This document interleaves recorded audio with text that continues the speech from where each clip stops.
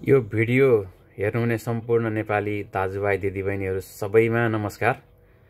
र विशेष गरेर देशको लागि धेरै माया गरेर देशको बारेमा प्रतिनिधित्व गरेर अगाडि बढ्नु बढ्नुहुने सम्पूर्ण नेपाली दाजुभाइ दिदीबहिनीहरू संसारको जुनै कुनामा बस्नु भएर सपोर्ट गर्नुभएको छ। उहाँहरू सबैलाई मेरो नमस्कार आधार प्रणाम र सम्मान पनि। किनभने हामी जुनैसुकै देशमा बसेको बसेको भए पनि र जहाँ जसरी बसेको भए पनि आखिर हामी नेपाल रहे नेपाली हौँ। विशेष गरेर अहिले चलिरहेको एमसिसीको बारेमा विभिन्न टिका टिप्पणीहरू सुन्नमा आएको छ। र हाम्रो पूर्व मन्त्री देव गुरुङज्यू र भीम रावलज्यूले जसरी प्रष्टताका साथ एमसिसीमा हक्ता हस्ताक्षर गर्यो भने यो यो बुँदाले गर्दा नेपालीलाई अप्ठ्यारो पर्छ भनेर प्रस्तुत गर्नुभएको छ। त्यो बुँदाहरूलाई सुनेको आधारमा उहाँहरूको प्रस्ट्याइ बुझेको आधारमा मलाई पनि दुई चार कुरा सोध्न मन लाग्यो त्यसैले यो भिडियो बनाएको छु। हाम्रो पूर्व मन्त्री देव गुरुङज्यू र भीम रावलज्यूले एमसिसीको फल्ना यो पन्ना र यो बुँदा नम्बरमा यो यो कारणले गर्दा नेपाललाई अप्ठ्यारो पर्छ भनेर जुन देखाउनु भएको छ। यदि सरकारको पक्षबाट यो यो कारणले पर्दैन भन्ने जस्तो लाग्छ भने सम्पूर्ण हामी जस्ता कुरा नबुझ्ने जनतालाई सरकारले बुझाउन जरुरत छ। यदि एमसिसी राम्रो छ भने के कारणले छ? र यदि राम्रो छ र राम्रो हो भनेदेखि मन्त्री पूर्व मन्त्री देव गुरुङज्यू र भीम रावलजीले जुन पोइन्टका साथ औँल्याउनु भएको छ त्यो सुन्दाखेरि देशको लागि कसरी राम्रो छ? र हामी अरू सर्वसाधारण नेपाली दाजुभाइ दिदीबहिनीहरूले के बुझ्नुपर्छ जस्तो मलाई लाग्छ भने मेरो आफ्नो बुझाइबाट हेर्दाखेरि यो संसारमा आमाले छोरालाई हुर्काउँदा त पछि ठुलो भएपछि मेरो बुढेसकालको सहारा हुन्छ यो भन्ने विचारले हुर्काएको हुन्छ। आमाले छोरालाई हुर्काउँदा त त्यहाँ स्वार्थ लुकेको हुन्छ भने अमेरिकाले नेपाललाई फक्कटमा स्वार्थ बिना पैसा दिन्छ? तपाईँ आफै विचार गर्नुहोस् न। एउटा खानु नपाएको माग्नेलाई पाँच रुपियाँ हामीले दिउँ भने त स्वार्थ लुकेको हुन्छ त्यहाँ। यो माग्नेलाई पाँच रुपियाँ दिएदेखि भगवान्ले केही आशीर्वाद दिन्छ कि मलाई भन्ने स्वार्थ लुकेको हुन्छ त्यहाँ। भने अमेरिकाले पचपन्न अरब नेपाललाई त्यत्तिकै दिन्छ। साधारण कुरा छ। मेरो विचारमा कसैले कसैलाई फक्कटमा स्वार्थ बिना संसारमा कसैले कसैलाई पनि दिँदैन। आमाले छोराछोरी हुर्काउँदा त बुढेसकालको सहारा हुन्छ भन्ने स्वार्थ लुकेको हुन्छ त्यहाँ भने अमेरिकाले नेपाललाई किन दिन्छ बाबुपट्टिको न आमापट्टिको? भन्ने लाग्छ मलाई चाहिँ। नोटको कुरा के विचार गर्नुपर्ने हुन्छ भने तपाईँ हाम्रो घरमा पर धनी साउबाले ठुलो गिफ्ट प्रेजेन्ट ल्याएर झ्याप्प दियो भने केटाकेटी त खुसी हुन्छन् खान पाइयो चक्लेट आयो फ्रीमा भनेर। के थाहा साउबाको आँखा आमामा छ कि दिदीमा छ? कि सम्पत्तिमा छ कि केमा छ? विचार गर्नुपर्ने हुन्छ। त्यसै फकटमा त कसैले कसैलाई पनि दिँदैन।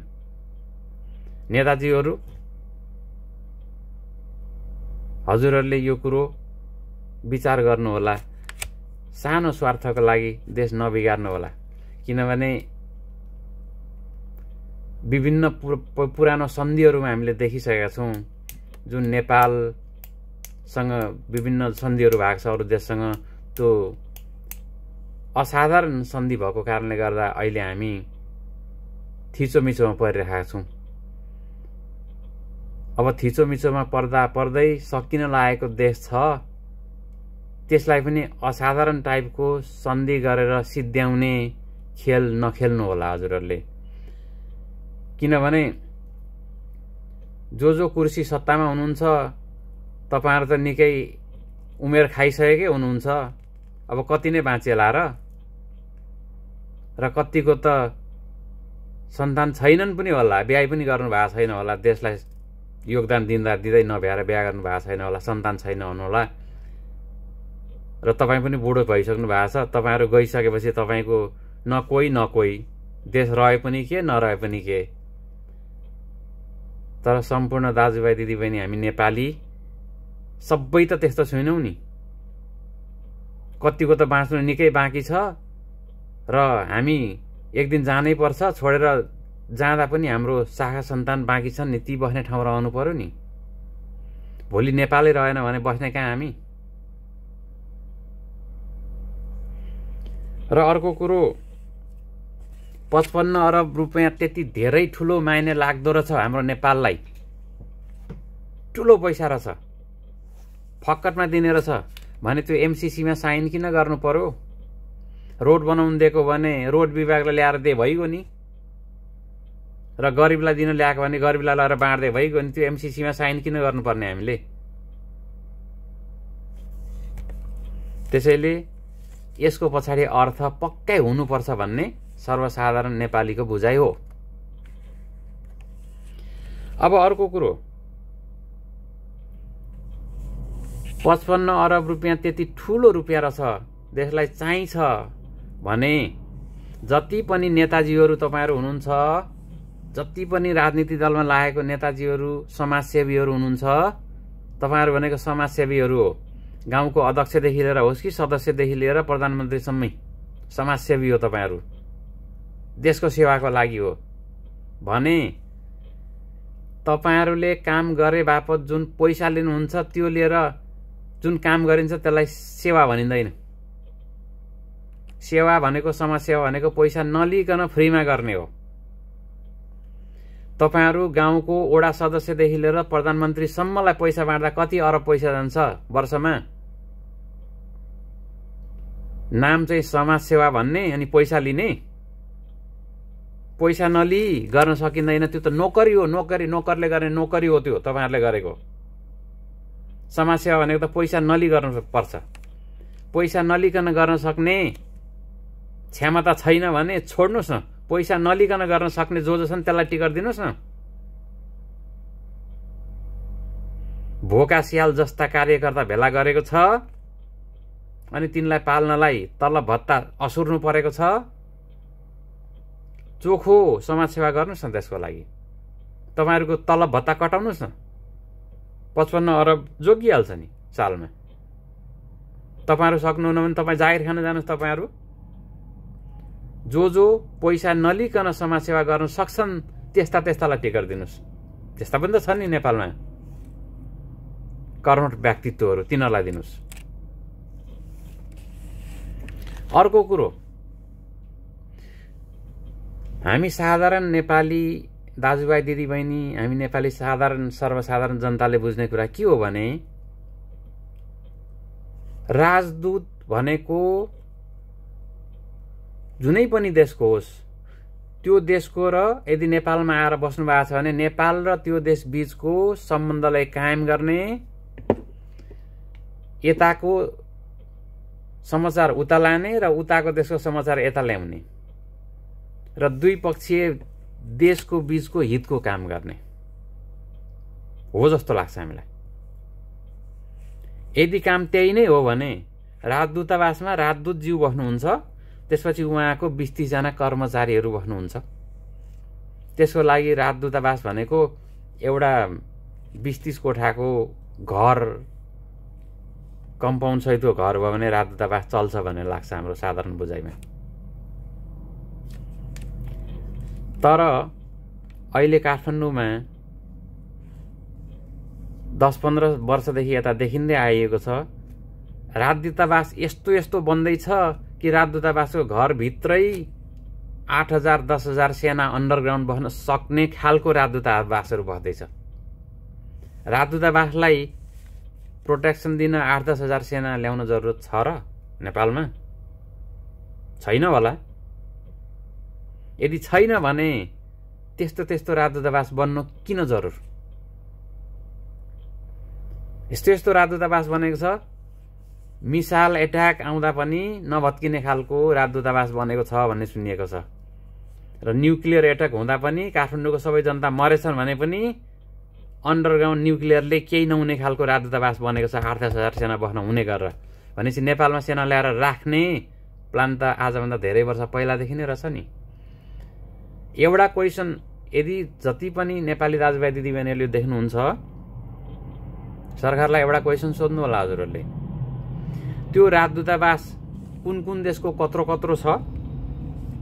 र भर्खरै पाँच दस वर्षभन्दा यता बनेको राजदूतावास कसको कसको कुन कुन राजदूतावासको छ? र कति हजार सेना बस्न सक्छन् त्योभित्र किन बनियो त्यो? नेतालाई त पक्का पनि थाहा छ। पास गरेरै बनाइएको होला त्यो। भने त्यो राजदूतावास बनाउनु किन जरुरत थियो? सर्वसाधारण जनतालाई एन्सर दिनुपर्छ हजुरहरूले। विशेष नेता बनाउँदाहरूले। जो अहिले कुर्सीमा बस्नु भएको छ तपाईँहरू जवाबदेही हुनुपर्छ र यो एन्सर जनतालाई चाहिन्छ। किन त्यति ठुल्ठुलो राजदूतावास बनियो? के कारणले बनियो? र नेपाललाई कता लाने खेल हो यो? अहिले जति पनि सत्तामा बस्नुभएको नेताजीहरू हुनुहुन्छ तपाईँहरू बाहिर जति कोट छड्के टोपी लाएर जनताको हामी सेवक हुँ भनेर नमस्कार गरेर जति बाहिर देखाएर हिँडे पनि तपाईँहरू अहिले कस्तो देखिनुहुन्छ भने तपाईँहरू यस्तो देख्नुहुन्छ। चटक्क परेको नेपालमा जन्मिएको नेपाली जिउ नेपाली छाँटकाँटको नेपाली ज्यान तर त्यो ज्यानभित्र चाहिँ विदेशीको गुप्तचरको आत्मा लुकेको ज्यान। तपाईँहरूको ज्यान भनेको ज्यान चाहिँ नेपाली ज्यान तर भित्र आत्मा चाहिँ विदेशीको गुप्तचरको आत्मा लुकेको ज्यान जस्तो देखिन्छ। त्यसैले त तपाईँहरूको मुखबाट शब्द निस्किँदाखेरि नेपाललाई होइन जसो गर्दा विदेशीलाई भलो हुन्छ त्यस्तै शब्द मात्रै निस्किन्छ। त्यसैले सम्पूर्ण नेपाली दाजुभाइ दिदीबहिनीहरू यदि हजुरहरूलाई देशको माया लाग्छ भनेदेखि यो क्वेसन सोध्नुहोस् उहाँहरूलाई। त्यति ठुल्ठुलो एम्बासी सेना लुक्न मिल्ने न्युक्लियरले केही नहुने एम्बासी किन बनाइयो के कारणले बनाइयो? भनेपछि स्वीकृति नलिई त बनिएको छैन। स्वीकृति लिएर बनिएको छ भनेपछि तपाईँहरू पनि यसमा सम्मिलित त हुनुहुँदो रहेछ नि पहिल्यैदेखि नत्र त्यहीँ रोक्नुहुन्थ्यो नि तपाईँहरूले। त्यसैले नेपाल रहे हामी नेपाली रहन्छौँ। सानै टुक्रा पनि किन्नुहोस्। भोलि जहाँ जहाँ विदेशमा जुन जुन ठाउँमा हुनुहुन्छ त्यहाँबाट खाली खुट्टा लखटेको दिन भागेर आउनुपर्ने ठाउँ नेपालमै हो विदेशमै हुनुहुन्छ भने पनि। र नेपालमै छौँ भने पनि गरेर खाने ठाउँ हाम्रो त्यही नै हो। गरिब होस् कि देश धनी होस् कि राम्रो होस् कि नराम्रो होस् कि जस्तो भए पनि त्यो हाम्रो हो। हामी अन्त जान मिल्दैन। त्यहीँबाटै क्रिएसन गर्नुपर्छ। त्यसैले यो देशलाई माया गर्नुहोस् र जोगाउनुहोस्। धन्यवाद।